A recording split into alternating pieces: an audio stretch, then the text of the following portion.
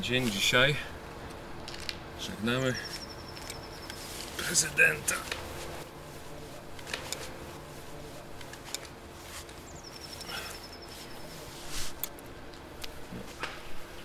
Niestety śrubka za dużo ma.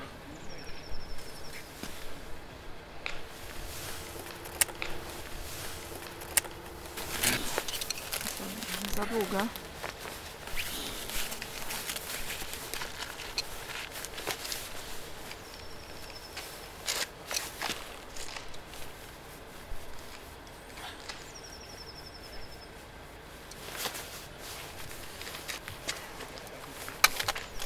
Ale jesteśmy na to niejako przygotowani.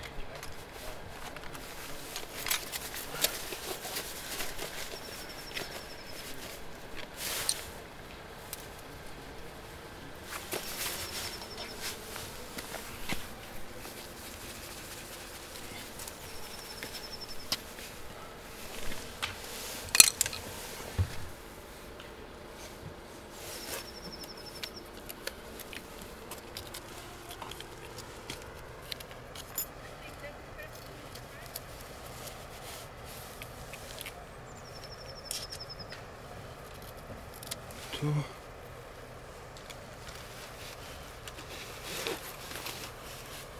Jesteśmy pod ambasadą polską e, w Hellerup w Kopenhadze w dniu e, żałoby narodowej, w dniu pogrzebu Pawła Adamowicza, zamordowanego prezydenta miasta Gdańska.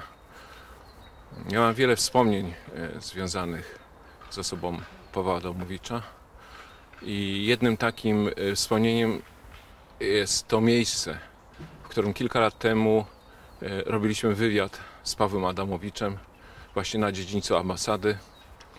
A to było przy okazji y, sesji samorządowców duńskich. No, była taka kampania. On tu przyjechał, żeby promować Gdańsk. Opowiadał o Gdańsku, opowiadał o tym, o swoich spotkaniach z Polakami tu w Danii. Dzisiaj tak się składa, spotkałem Gdańszczankę, która pracuje tutaj w Kopenhadze od kilku miesięcy.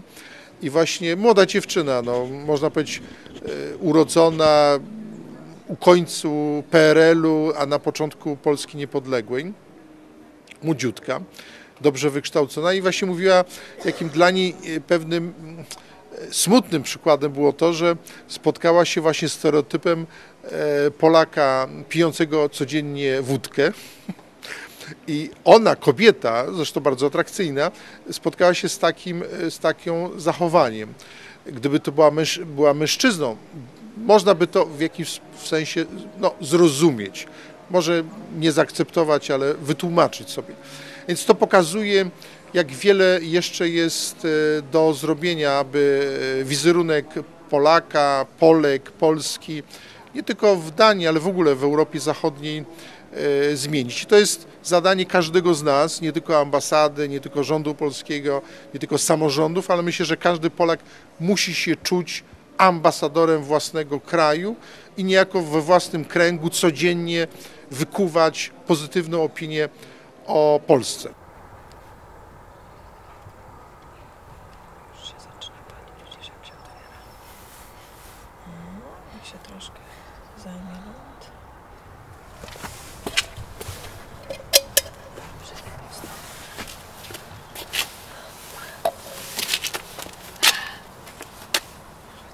Tutaj Paweł Adamowicz, prezydent Gdańska. Poznajesz Gdańsk? Motława, widzisz? Tak. Tam, tam widać kościół mariacki w tle. Jestem absolwentką pierwszego liceum ogólnokształcącego, tak jak Paweł. Paweł był dwa lata wyżej. E, Wróciłam przed chwilą z Gdańska, byłam wczoraj na pożegnaniu. Podobno ponad 50 tysięcy osób wzięło też w tym udział. Stare miasto było pełne. E, Ludzie towarzyszyli Pawłowi od Europejskiego Centrum Solidarności aż do Kościoła Mariackiego. Była przejmująca atmosfera, bo przez cały czas biły dzwony świętej Katarzyny.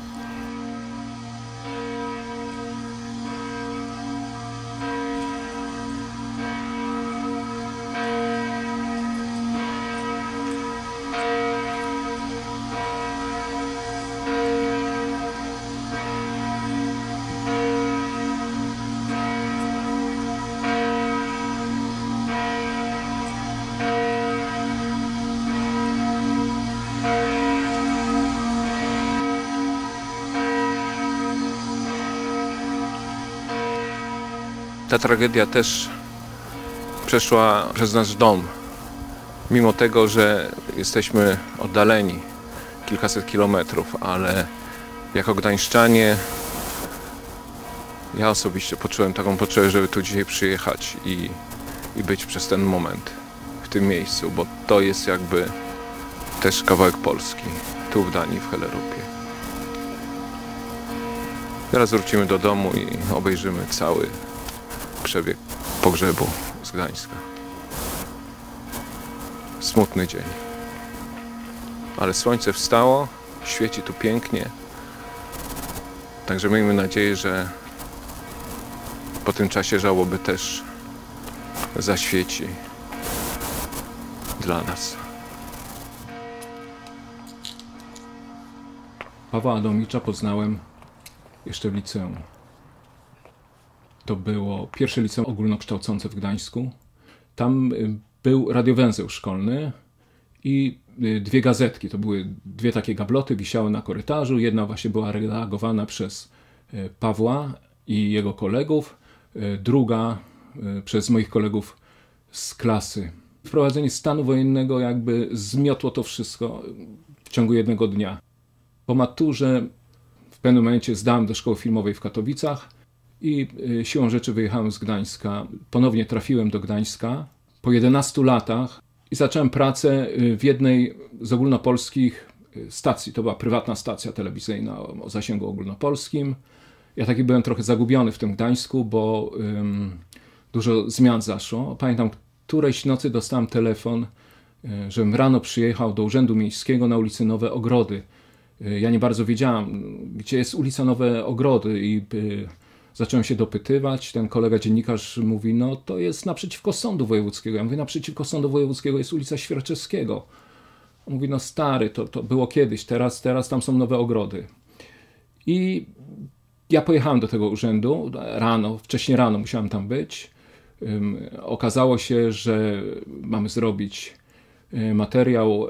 Tam była jakaś afera w urzędzie jakiś któryś z zastępców Pawła Adamowicza miał zostać wyprowadzony przez urząd antykorupcyjny y, w skuty kajdankami. No i oczywiście zlecenie było takie, żeby to zdjęcie zrobić. Myśmy tam czekali dosyć długo. Ja chyba tam byłem pierwszy raz wtedy w tym urzędzie i pamiętam, że oprócz nas był jeszcze jakiś y, fotoreporter z Warszawy. On zupełnie nie był zorientowany, kto jest z kim. I jak ktoś tylko poruszył się na korytarzu, on podbiegał z aparatem, robił zdjęcie. Robił zdjęcie, myśmy mówili, nie, poczekaj, poczekaj, to nie jest ten, ten, sytuacja taka trochę była absurdalna. Później y, ja oczywiście zrobiłem to zdjęcie, to się odbyło tak, że ten zastępca y, został najpierw przyprowadzony w asyście tam oficerów, to po cywilnemu było, e, wyprowadzony, zdjęcie zrobione, pojechaliśmy na chwilę do redakcji, po czym y, pojechaliśmy zrobić wywiad z prezydentem miasta e, Pawłem Adamowiczem. E, pamiętam, to było na jakimś osiedlu nowo wybudowanym i Urząd Miasta oddawał kilka nowych mm, mieszkań e, socjalnych. Paweł Adamowicz stał, on wysoki był tak jak ja, może stał na jakimś podwyższeniu, nie pamiętam. Ja stanąłem z tą kamerą i tak jak mnie w szkole uczono zawsze, na początku trzeba przyzumować ten obiektyw, do oka, zobaczyć, czy tam jest tak zwany blik, czy oko się świeci, ustawić sobie ostrość, odjechać, ustawić kadr i wtedy y, można zacząć nagranie. Y, myśmy nie czekali za bardzo, nie słuchali tego, o czym tam opowiada. Ja chyba na kamery nie puściłem. Nam zależało na tym, żeby on odpowiedział na pytanie pod tytułem czy może się pan ustosunkować do zaistniałej rano sytuacji w Urzędzie Miejskim. Ja pamiętam, że ten blik w oku, ten ognik nagle przygasł u Pawła, ale to była jedna sekunda. I potem znowu rozbysł i on powiedział, oczywiście, proszę Państwa, zapraszam wszystkich na godzinę 12 e, do mojego gabinetu, tam będzie konferencja prasowa. Pozostali dziennikarze w ogóle nie wiedzieli e, o co chodzi. E, pytali nas, też powiedzieliśmy, ok, o 12 wszystko będzie jasne. I to było takie nasze pierwsze spotkanie po latach. Y, ja później byłem wielokrotnie w tym y, gabinecie i, i to zdjęcie, które zobaczyłem kilka dni temu, kiedy mm, już po, po śmierci y, drzwi jedna z pań w urzędzie otworzyła drzwi. Operator stanął tak z kamerą, ona jeszcze powiedziała, proszę tu nie wchodzić i zrobił to zdjęcie, taki plan ogólny tego, tego gabinetu. To zrobiło na mnie duże wrażenie, pamiętam. Przypomniałem sobie wszystkie te dni i wszystkie te wywiady y, z tego okresu. Paweł Adamowicz zawsze był przyjazny dla, y, dla pracy operatora. Zawsze można było poprosić, panie prezydencie, może pan podejdzie, y, może pan jeszcze raz coś zrobi. Nie było z tym problemu. Ja pamiętam, że myśmy grali dużo polityków w Gdańsku wówczas i e, był taki też kolega, operator e, w redakcji, który e, w momencie otrzymania zlecenia, aby pojechać do innego bardzo prominentnego polityka wówczas w mieście, chwytał się za żołądek i, i, i, i dostawał po prostu bólu. U pana prezydenta Adamowicza tak nie było.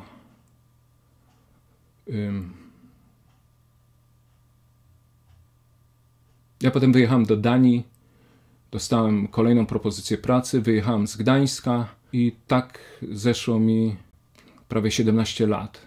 W Gdańsku bywam często, bywam często i informacje z Gdańska również um, otrzymywałem na bieżąco. Moi rodzice w czasie wojny y, oboje byli na Syberii. Mama bardzo zaangażowała się w pracę Związku Sybiraków i i od niej wiele słyszałem e, na temat prezydenta Adamowicza. Zawsze opowiadała o nim e, w samych superlatywach. E, ostatnie zdjęcie, które dostałem od niej i wiadomość, to było cztery dni przed zabójstwem, kiedy wrócił ze Stanów Zjednoczonych i przyszedł do nich na chwilę na, na, na opłatek mm, tradycyjny, sybiracki.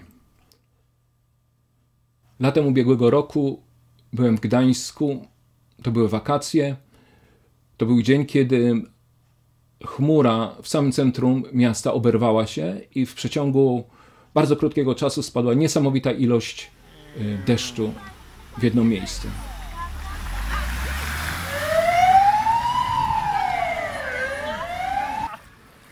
Ja akurat przechodziłem y, tamtędy, y, widziałem to, co się działo przed Urzędem Miejskim.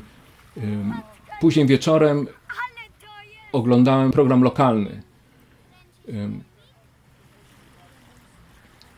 Nie zapomnę tego do dzisiaj, jaka, jaka dyskusja się toczyła. To już było tuż przed e, kampanią wyborczą. Jaka dyskusja się toczyła, e, zażarta w studio. E, prezydent Adamowicz został dosłownie obrzucony błotem.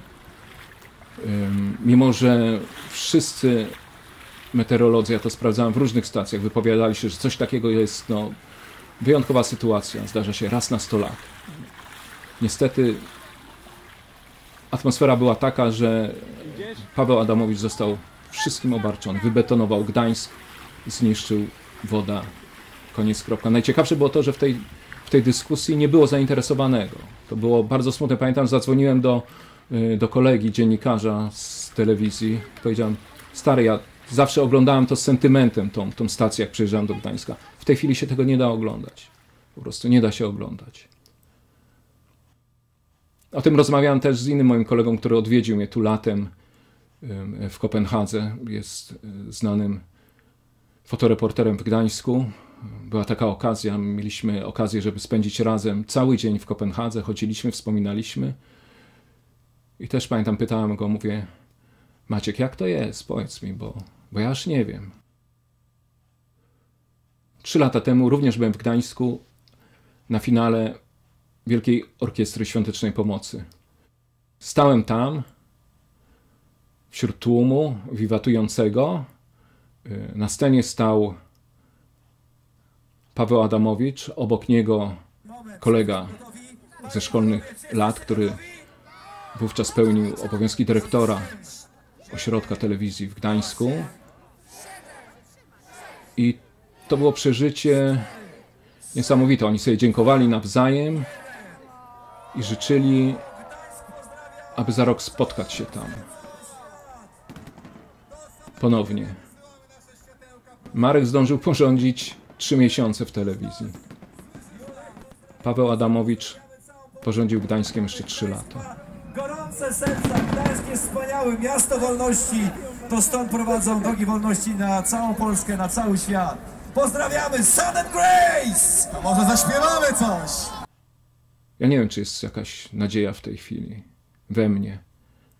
Łudzę się tylko tym, że nadzieja umiera ostatnia.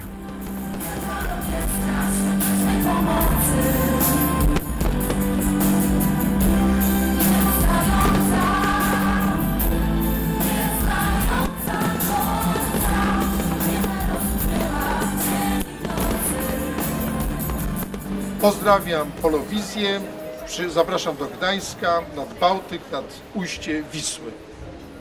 Dziękujemy. Miłego pobytu. Dziękuję bardzo. Dziękujemy.